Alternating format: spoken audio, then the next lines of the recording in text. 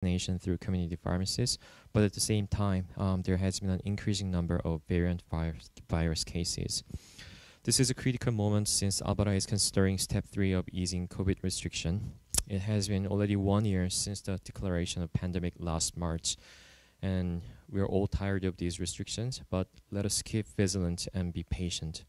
Allow your wisdom and power to the people who are in making critical decisions, and we pray that the pandemic will be over in the near future. We pray for EM, um, even though it did not happen yet. We need to think about opening up and normalizing our ministry. We need more core members who can contribute and dedicate to our ministry. We pray especially for a praise team. Uh, we need a praise leader and a group of people to play instruments. The power of listening live praise and singing with a praise team would be a so much blessing for us. We believe in that you are going to send right people to our ministry in the right timing, Lord.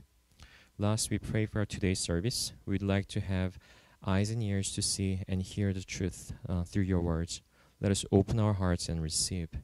Please let the Holy Spirit work in our hearts through this service. Thank you, Lord. We pray in, in the name of Jesus Christ. Amen. Okay, so welcome everyone this morning. Thank you for joining in person and online. Uh, please say hello to each other. So there's a couple of announcements. So first of all, we'd like to remind that you can make an offering online through e-transfer using the um, email address ckpc.offering at gmail.com. The next one is uh, Pastor Marvin is thinking about um,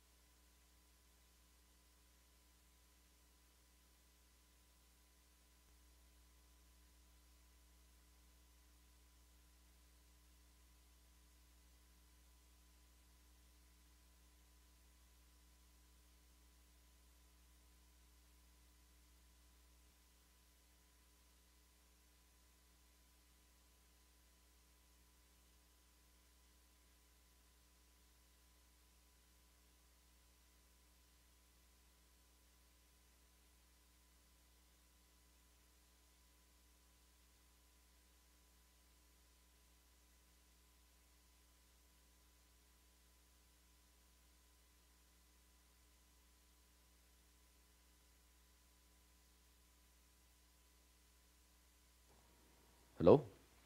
Am I on now? Good. Thank you. Uh, thank you very much for that. Um, thank you again to uh, Jeremy. Uh, we've had, uh, for the last two weeks, including today, we've had uh, technical difficulties still. And uh, thank goodness for Jeremy because obviously I wouldn't know what to do. But he's been able to fix these things. And uh, if we're if we're late starting the service, um, you can know that it's uh, uh, it's uh, either Jeremy or, or Tim uh, just trying to uh, get us through these technical difficulties and and but thank thank goodness for them to help us out in these things. Um, yeah. So again, that this chart it's it, it is a simple chart. I guess you don't really need to print it out. You can just kind of grab a piece of paper and write it out.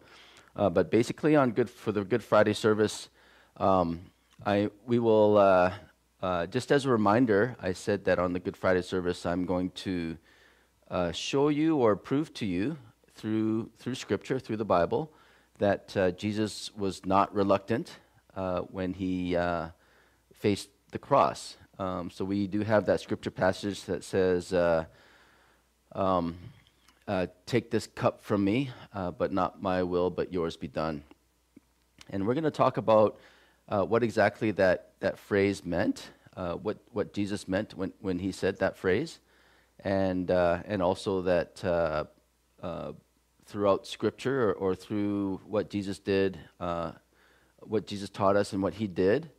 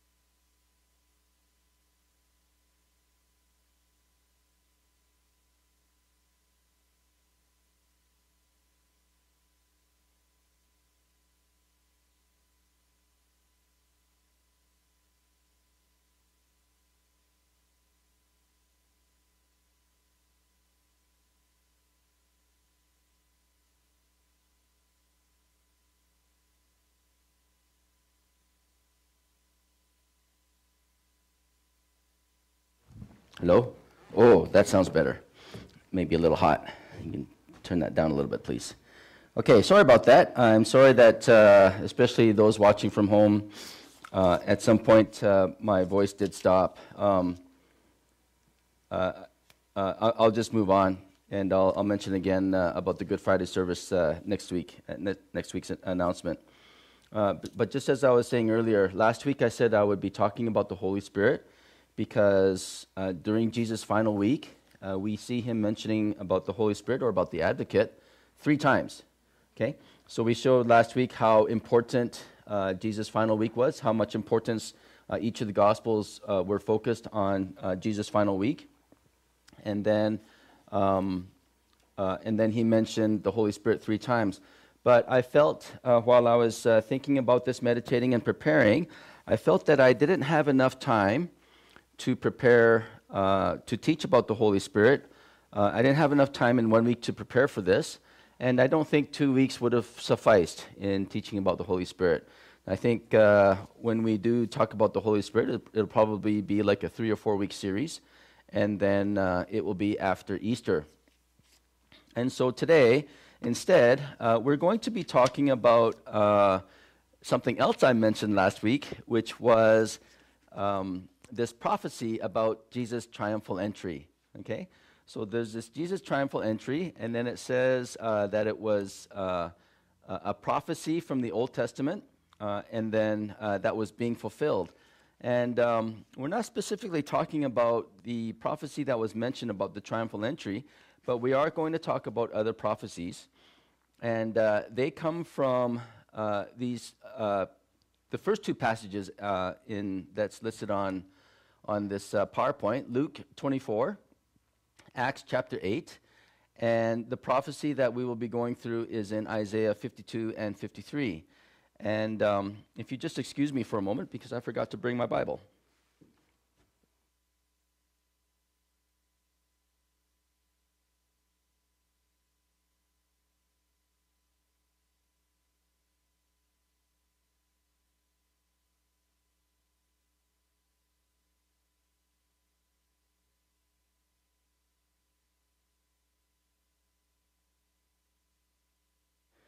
Little strange having a, a preacher forget to bring their Bible to the podium.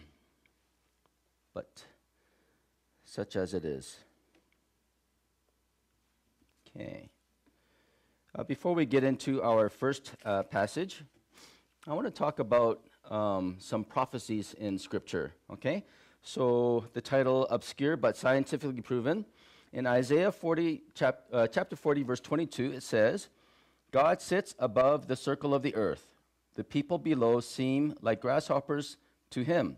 He spreads out the heavens like a curtain and makes his tent from them. Okay? So, God sits above the circle of the earth, right? So, this is uh, from Isaiah. Isaiah, oh, I don't know, I don't remember when Isaiah was written. Uh, at least, uh, at least 700 years uh, before Jesus was born. Uh, could be a thousand, I, am not 100% certain. But, anyways, uh, it says here in this verse that the earth is round. Okay? Now, people have always known that the earth was round, but then uh, they started to question it because, you know, there's a lot of thought that the earth was flat. And it wasn't until the 14 or 1500s AD that it was confirmed that the, worth, that the earth is indeed round. Okay? But scripture says the earth was round. So we've got this one little verse here uh, that does say, uh, talk about the circle of the earth, that the earth being round, okay? But it wasn't confirmed for us until about 1500 AD. The other verse, Job 26, God stretches the northern sky over empty space and hangs the earth on nothing, okay? So the earth, right, we know is floating. I'm not an astronomer, uh, uh, uh astro- no, astronomist. I'm not a, I'm, I'm not a space guy. Uh, but anyways, okay, so the Earth is hanging on nothing, which means the Earth is floating, right, in space. The Earth is floating in space, being held by gravity and, and all of that scientific stuff, right? But we've got these uh, passages um, that write about things that science over time has proven, okay? So we, we've got uh, prophecies and we've got things written about um, our world that uh, it's already there. It's already written We just didn't really understand it at the time, not until science proved something, and then we could realize, oh, wait a minute, this is something that God's talked about like 3,000 years ago. Uh, this was already given to us. Okay? So, I can say a lot more about science and uh, you know how it how it proves scriptures and things like that, but we won't go there. Okay. So now, why does God communicate this way? Right? Why does God sometimes communicate in a way that um, it's not direct and, and we don't always get it? Right? Especially in the Old Testament, we don't always get it. Okay. So this is a, a secular research. It says that didactic teaching may limit learners' understanding of deep structure of a concept. Oh, uh, Trevor is our uh, resident uh, teacher here. Uh, he would know these things.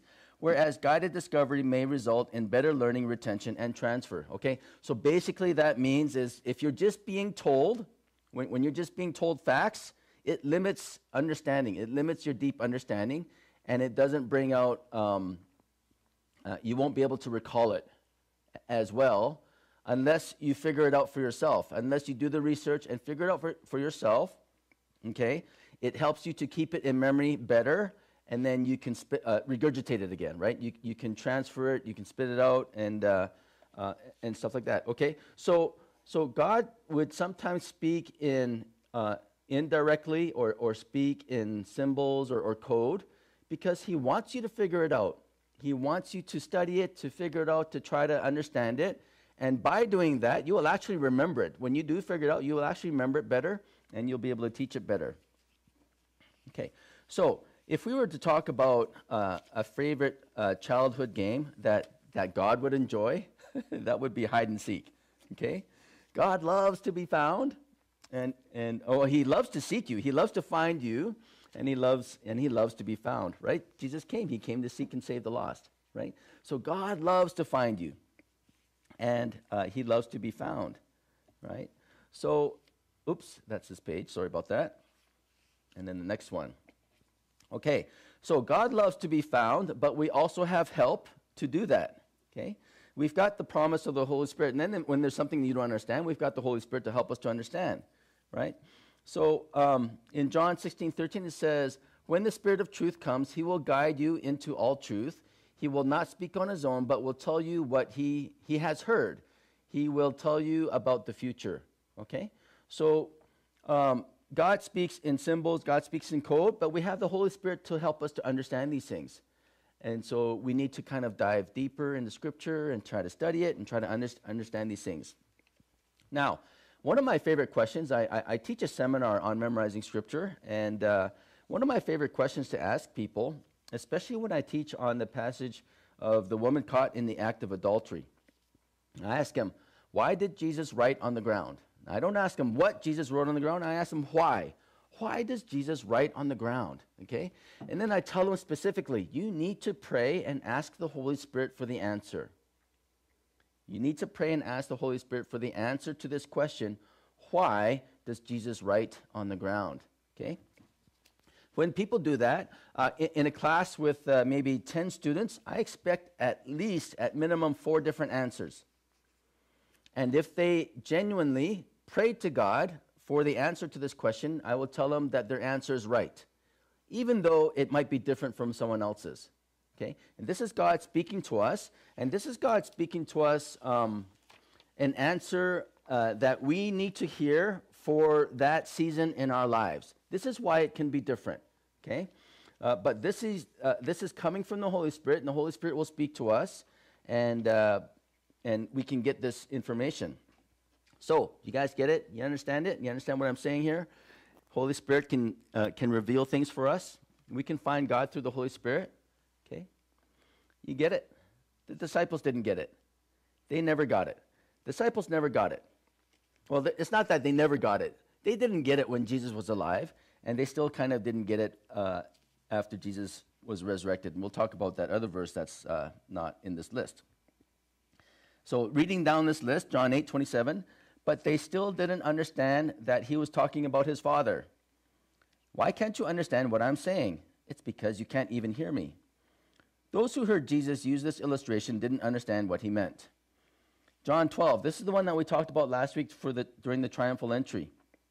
His disciples didn't understand at the time that this was a fulfillment of prophecy. But after Jesus entered into his glory, they remembered what had happened and realized that these things had been written about him.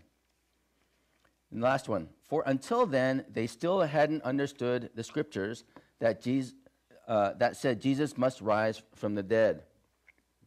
Okay, and then the last verse, and this is actually after Jesus rose from the dead during his resurrection and one of his appearances to the disciples. Um, this comes in Acts chapter 1, verses 6 to 8. So when the apostles were with Jesus, they kept asking him, Lord, has the time for, come for you to free Israel and restore our kingdom? Okay, they're still looking for a conquering king, right? Jesus has rose from the dead and he's hanging out with his disciples, and his disciples are asking him, Are you going to free Israel and, and restore our kingdom? So they're still looking for a conquering king. They still don't get it, even though Jesus rose from the dead. Jesus replied, The Father alone has the authority to set those, those dates and times, and they are not for you to know. Verse 8, very important. But you will receive the power when the Holy Spirit comes upon you, and you will be my witnesses, telling people about me everywhere in Jerusalem, throughout Judea, in Samaria, and to the ends of the earth. Okay? So, triumphal entry, Jesus was declaring himself king and Messiah. And then everyone else thought he was the conquering king, right? But then the triumphal entry, Jesus was, was emphasizing again that he came to, to save, he came to die. He didn't exactly say that on the triumphal entry, but he was saying that throughout his ministry that I came to die and then I will rise again. Okay? They didn't get it. But then here it is, it, it repeats it. You will receive the power and you will share my message. What is that message? That message is of eternal life in Christ. Okay? That was the message that Jesus brought. That's the message that he gave. And that's the message that he wants his disciples to give.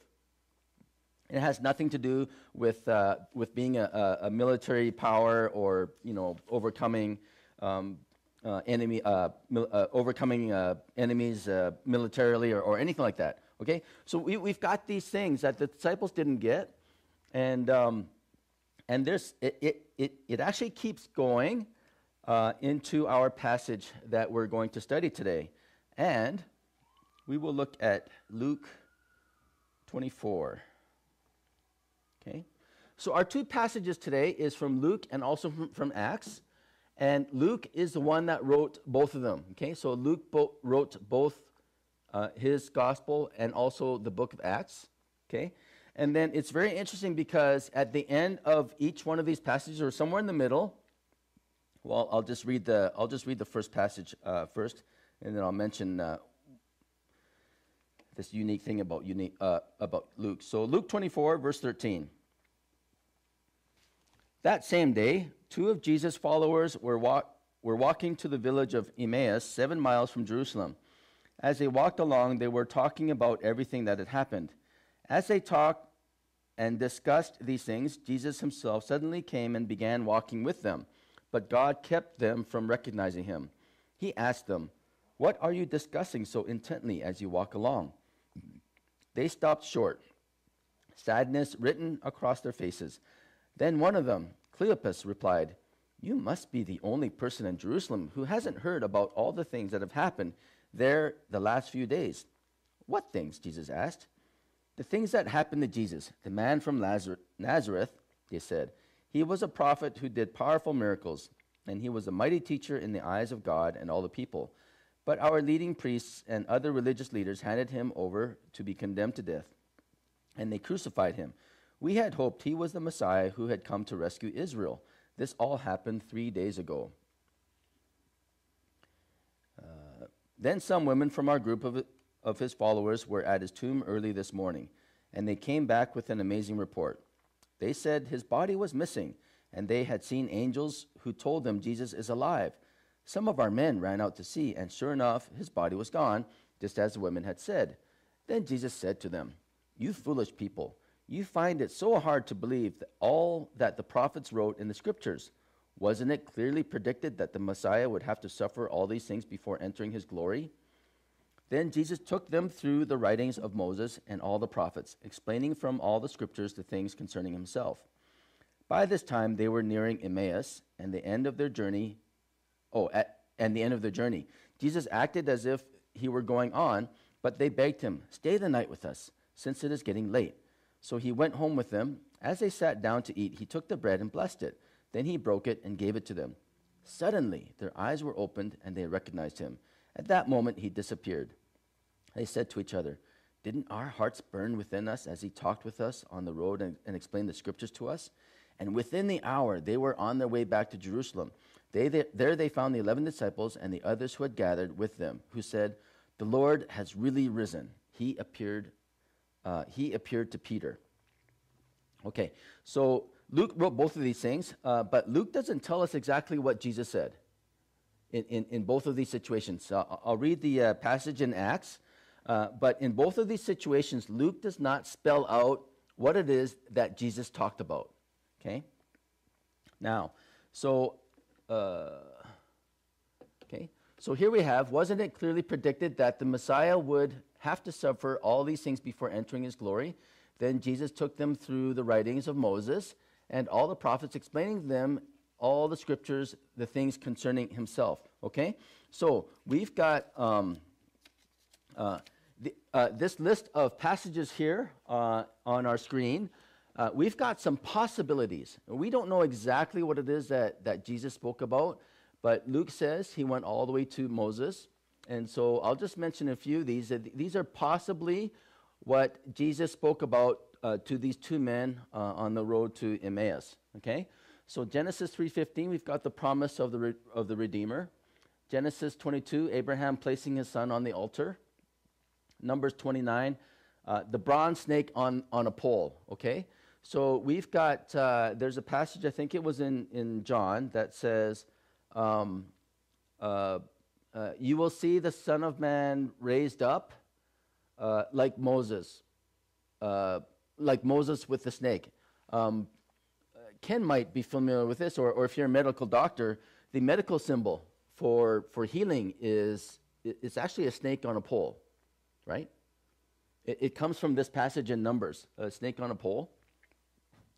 Uh, Deuteronomy 18, God will raise up a prophet for you. Psalm 22, my life poured out like water. Psalm 69, I endure insults for your sake.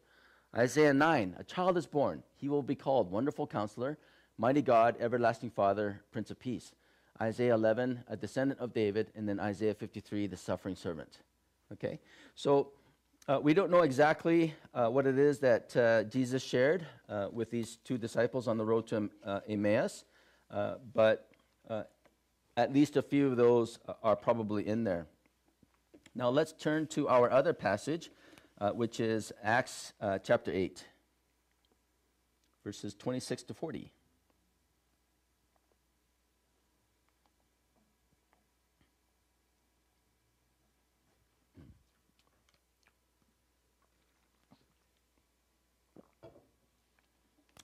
As for Philip, an angel of the Lord said to him, Go south, down the desert road that runs from Jerusalem to, to Gaza. So he started out, and he met the treasurer of Ethiopia, a eunuch of great authority under the Kandake, the queen of Ethiopia. The eunuch had gone to Jerusalem to worship, and he was now returning. Seated in his carriage, he was reading aloud from the book of, of the prophet Isaiah. The Holy Spirit said to Philip, Go over and walk along beside the carriage. Philip ran over and heard the man reading from the prophet Isaiah. Philip asked, Do you understand what you are reading?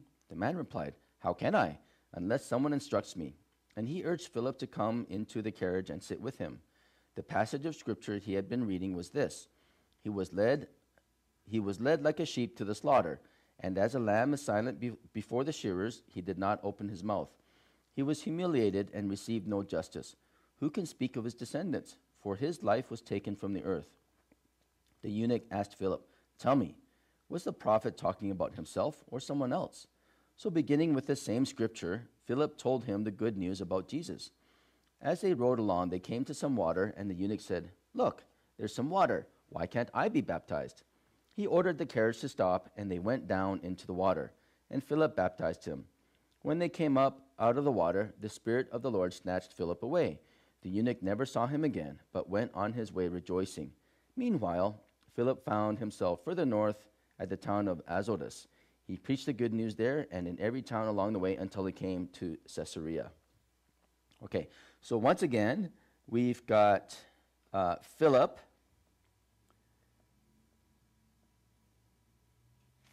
uh, in verse 35. So, beginning with the same scripture, Philip told him the good news about Jesus. Okay? Oh, I, do, I already have it on there. Okay? Um, so, we actually have uh, the passage that was being read, that the, that the eunuch was being read, and that passage comes from Isaiah 52, which is what we will be going through um, uh, verse by verse. Okay. So, see, my servant will prosper. He will be highly exalted. But many were amazed when they saw him. His face was so disfigured, he seemed hardly human. And from his appearance, one would scarcely know he was a man. And he will, he will startle many nations. Kings will stand speechless in his presence, for they will see what they had not been told. They will understand what they had heard about. Okay, so face, disgi- face disgi- the, the face disfigured, Okay? So obviously, this is after being, be- being beaten, right? After Jesus was beaten and, and scourged and uh, whipped, okay? His face was uh, deeply disfigured. Um, in Isaiah 53, verse 1, who has believed our message? To whom has the Lord revealed his powerful arm? Okay, so now we've got uh, this comes from John in John chapter 12, verses 37 to 38. We've got, despite all the miraculous signs Jesus had alone, Jesus had done, most of the people still did not believe in him. This is exactly what Isaiah the prophet had predicted. Lord, who has believed our message? To whom has the Lord revealed his powerful arm? Okay? All right. Need some reading glasses here. Isaiah 52, 53 rather, 2 and 3. Sorry, my notes are too small for me. I didn't bring my reading glasses. 2 and 3 Rise from the dust, O Jerusalem. Sit in a place of honor. Remove the chains of slavery from your neck, O captive daughter of Zion. For this is what the Lord says When I sold you into exile, I received no payment. Now I can redeem you without having to pay for you. Okay? John 1:10 He came into the very world he created, but the world didn't recognize him. And then in chapter 7, when the temple guards returned without uh, having arrested Jesus, the leading priests and Pharisees demanded, "Why didn't you bring him in?" And they said, "We have never heard anyone speak like this." The guards responded, "Have you been led astray too?" The Pharisees mocked. Is there a single one of us rulers or Pharisees who believes in him? Okay? So these are um, things that gospel writers are writing out, and these are things that Isaiah had already written about. Okay? Now, again, once I told, I told you before, right? People were looking for a conquering king. Nobody would ever have applied Isaiah 53 to Jesus because this does not make sense. Right? So when we come into Scripture and we have so, a set of preconceived ideas in our minds, even what we read when it doesn't make sense or it doesn't connect with what we with the ideas that the, the thoughts that we have initially we're not going to listen to them or, or we're not going to think well this has nothing to do with me or this has nothing to do with jesus okay but these things were already written about him and then jesus had to explain these things to the two uh, disciples on the road to emmaus and, and philip had to explain these things to the to the ethiopian eunuch okay that these things are actually written about jesus and these are the things that actually happened and they, they've already been written about him. 4 to 6. This is what the sovereign Lord says Long ago, my people chose to live in Egypt. Now they are oppressed by Assyria. What is this? asked the Lord. Why are my people enslaved again? Those who rule them shout in exultation. My name is blasphemed all day long. But I will reveal my name to my people, and they will come to know its power. Then they will recognize that I am the one who speaks to them. All right. Matthew 27. So Pilate released Barabbas to them. He ordered Jesus flogged with a lead tipped whip, then turned him over to the Roman soldiers to be crucified. Did I read the right passage? Oh, I'm sorry. I totally, it, it, as I was reading it, it didn't make sense. Sorry about that. Let's get back to. Isaiah 53, 4 to 6. Yet it was our weaknesses he carried, it was it was our sorrows that weighed him down, and we thought his troubles were a punishment from God, a punishment for his own sins. But he was pierced for our rebellion, crushed for our sins. He was beaten so we could be whole, he was whipped so we could be healed. All of us, like sheep, have strayed away. We have left God's path to follow our own, yet the Lord laid on him the sins of us all. Okay? So he was pierced for our rebellion, the whipping, crushed for our sins. He was beaten so we could be whole. He was whipped so we could be healed. Things already written. Next two verses. I'm reading from the right chapter. He was oppressed and treated harshly, yet he never said a word. He was led like a lamb to the slaughter, and as a sheep is silent before the shearers, he did not open his mouth. Unjustly condemned, he was led away. No one cared that he died without descendants, that his life was cut short in midstream, but he was struck down for the rebellion of my people. Matthew 27. But when the leading priests and the elders made their accusations against him, Jesus remained silent. Don't you hear all these charges they are bringing against you? Pilate demanded. But Jesus made no response to any of the charges, much to the governor's surprise. Verse 9 He had done no wrong and never deceived anyone, but he was buried like a criminal. He was put in a rich man's grave. Matthew 27 again. As evening approached, Joseph, a rich man from Arimathea who had become a follower of Jesus, went to Pilate and asked for Jesus' body. And Pilate issued an order to release it to him. Joseph took the body and wrapped it in a long sheet of clean linen cloth. He placed it in his own new tomb, which had been carved out of the rock. Then he rolled a great stone across the entrance and left.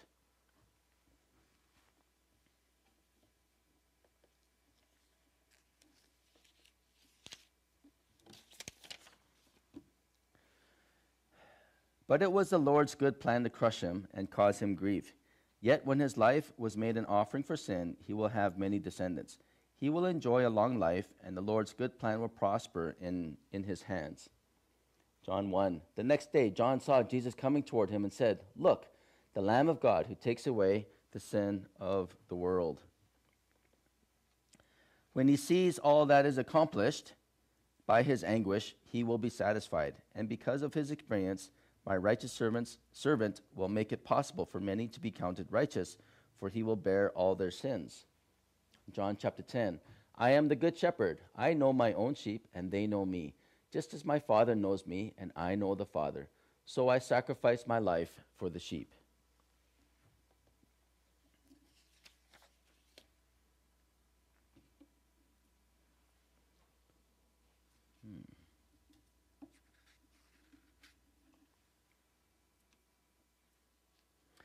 I will give him the honors of a victorious soldier, because he exposed himself to death. He was counted among the rebels. He bore the sins of many and interceded for rebels. Matthew 26. He told them, My soul is crushed with grief to the point of death. Stay here and keep watch with me. Two revolutionaries were crucified with him, one on his right and one on his left. Now, have you guys ever heard of self fulfillment prophecy? Self fulfillment prophecy is when you hear something about yourself and you make sure it happens. This is self fulfillment prophecy. Okay? So we know that Jesus knows the scriptures, he knows the Old Testament. It's quite possible that Jesus could just be copying, mimicking after the Old Testament, after what was written. Okay? But there's things that, uh, that were completely out of Jesus' control. Well, such as his birth, his place of birth. Well, it's not like Jesus could control where he was born, right? Um, the time of birth. He can't control that there's going to be a star above Bethlehem and, and, and he will be born at that time. He can't control that.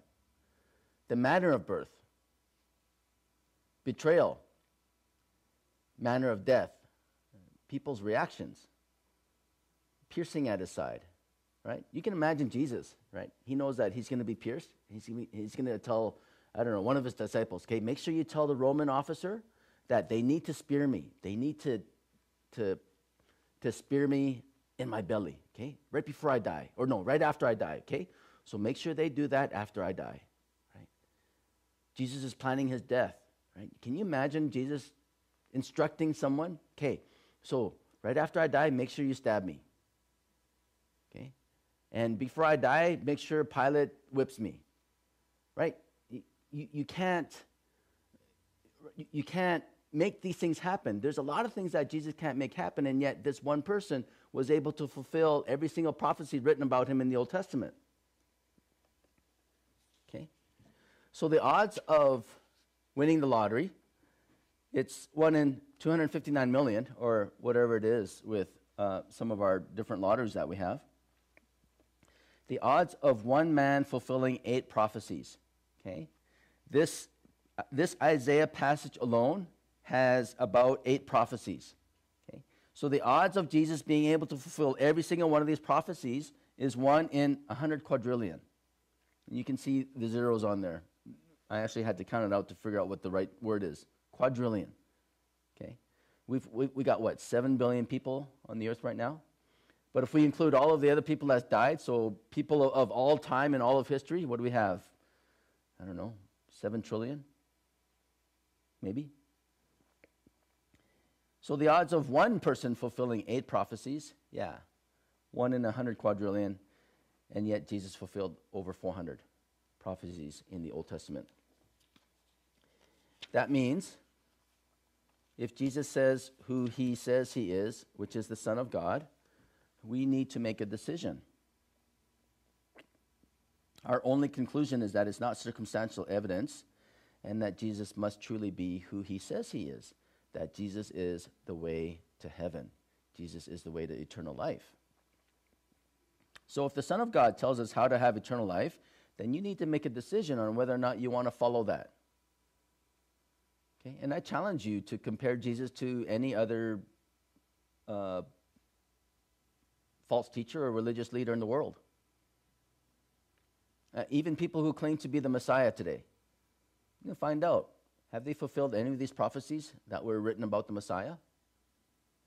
Now, I don't know how. I don't know anyone who claims to be the Messiah today would, would want to die the way Jesus died. Uh, in fact, they just died a natural death not, not even remotely close. So here we've got the Son of God telling us how to have eternal life. We need to make a decision on whether or not we want to follow that. And this comes from um, talking about faith in Jesus. Heaven is a free gift. It tells us in Romans chapter 6 For the wages of sin is death, but the free gift of God is eternal life through Christ Jesus our Lord. Okay? This gift is not earned or destroyed or, or I've got the wrong word in there. The gift is not earned. Okay? God saved, Ephesians chapter 2, God saved you by his grace when you believed. And you can't take credit for this. It is a gift from God. Salvation is not a reward for the good things we have done, so none of us can boast about it. We are sinners. For everyone has sinned. We all fall short of God's glorious standard. We cannot save ourselves. But you are but you are to be perfect even as your Father in heaven is perfect. Okay? So this requirement to to be with the Father in heaven, you need to be perfect. And there's not a single one of us that can attain this goal ever. You can't save yourself. And God is merciful. And God is love. Okay? And God is just. Just as God is merciful, God is also just. Sin must be punished. I do not excuse the guilty. Exodus 34. Okay? Who is Jesus? In the beginning, the Word already existed. The Word was with God, and the Word was God. So the Word became human and made his home among us. He was full of unfailing love and faithfulness and we have seen his glory, the glory of the Father's one and only Son. This is Jesus. This is who Jesus is. Jesus was there before creation, and he is still there today. And what Jesus did, all of us like sheep have gone astray. We have left God's paths to follow our own. Yet the Lord laid on him the sins of us all. This is what Jesus did. And faith is not mere head knowledge. You say you have faith, for you believe that there is one God. Good for you. Even the demons believe this, and they tremble in terror. Okay? If you remember uh, a couple of weeks ago, I said that um, you know some people called Jesus Lord, Lord, and Jesus said, "Well, I'll tell you the truth. I don't know you." Heaven, you stood before God and said, "Jesus, I know you," and Jesus says to you, "I don't know you." That would be a little bit scary. Okay? Faith is trusting in Jesus Christ alone for eternal life. Believe in the Lord Jesus, and you will be saved, along with everyone in your household. Okay? And then Jesus promised, I tell you the truth, anyone who believes he has eternal life. Anyone, I tell you, anyone who believes in me has eternal life. I'm really sorry about that. I want to read one more for you and then we will pray. This is in Romans chapter 10, verses 9 and 10. If you openly declare that Jesus is Lord and believe in your heart that God raised him from the dead, you will be saved. For it is by believing in your heart that you are made right with God, and it is by openly declaring your faith that you are saved.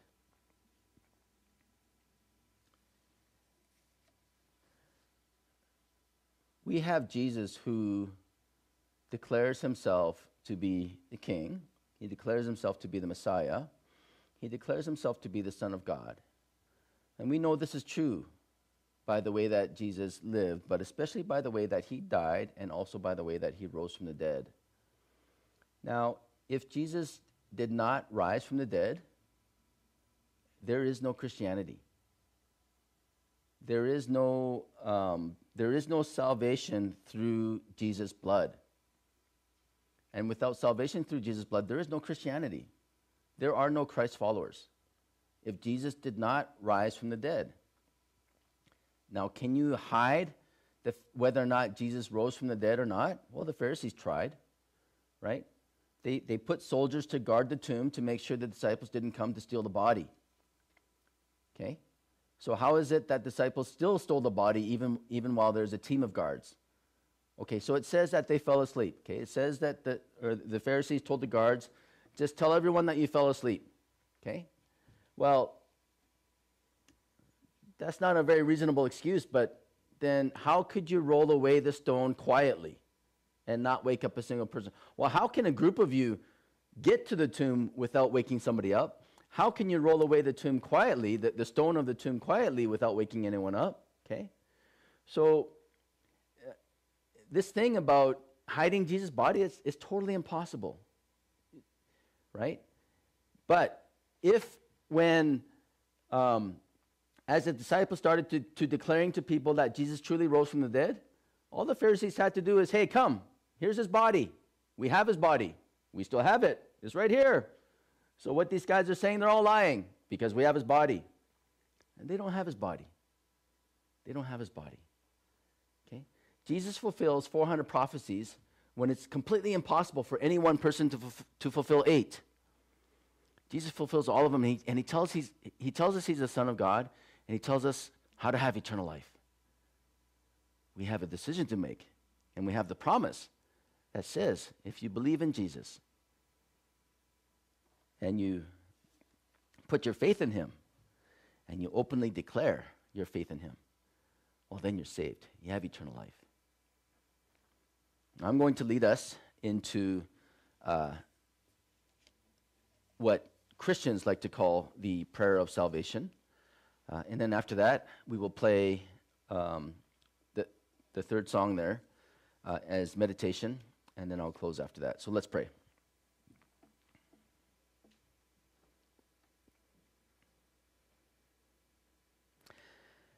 Uh, Father, as we learned today, Lord, I know that disciples, they, they didn't get it uh, at first, and they didn't even get it even when they saw your resurrected body. Uh, but I know, Lord, when you sent the Holy Spirit and the Holy Spirit spoke to their hearts, they got it. And I know, Lord God, that uh, the Holy Spirit speaks to us. I know, Lord, also that the Holy Spirit speaks to uh, unbelievers. Um, those who have not yet uh, committed their lives to you. Because the Holy Spirit speaks truth, I, I, know, Lord, that people are receiving truth in their hearts and that um, now that they have received the truth, they have a decision to make whether or not to commit their lives to you um, or not. And so, from this moment, Lord, I want to uh, just pray this prayer of commitment that for those who want to commit their lives to you, um, would also pray the same in their own hearts. Um, so that we can receive eternal life from you and, uh, and become brothers and sisters in Christ. And so I just confessed my sin to you, Lord God. Um, I am a sinner, Lord, and I need your forgiveness. Uh, without your forgiveness, um, I am nothing, and I have no way of earning my way to you. So I ask that you forgive me of my sins. I receive your Son into my life. I believe by faith that your Son died for me and has given me uh, eternal life through his blood.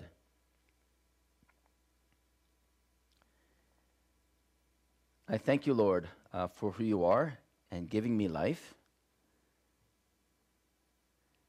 And I pray, Father, that you help me to understand your word so that I will know how to govern my life and also to be able to share this good news to others as well. I pray in Jesus' name. Amen.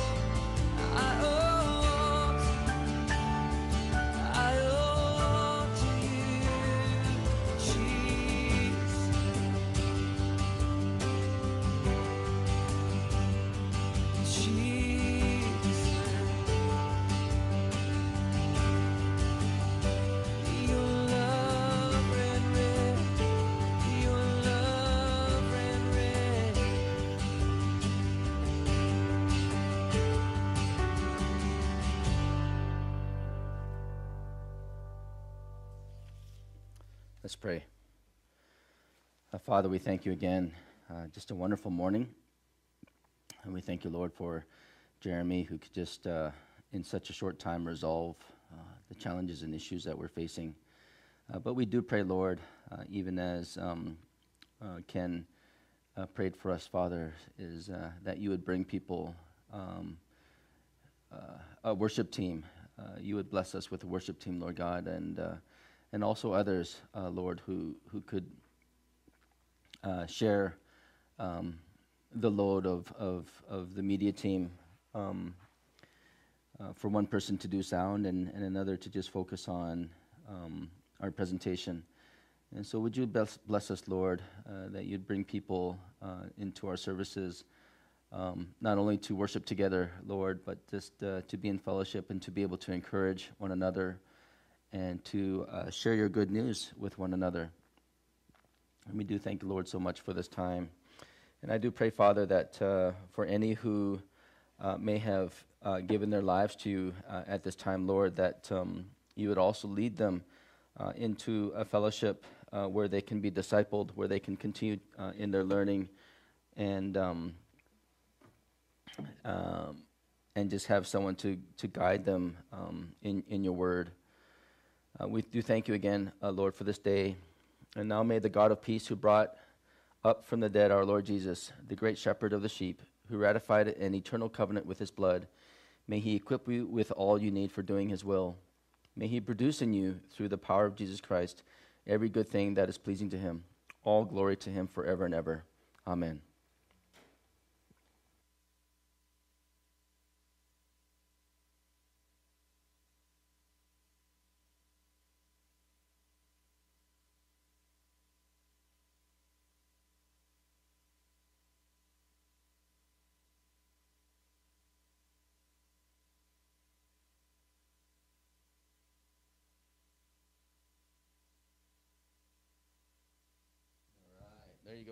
Sing. Hello. Hello. Sing.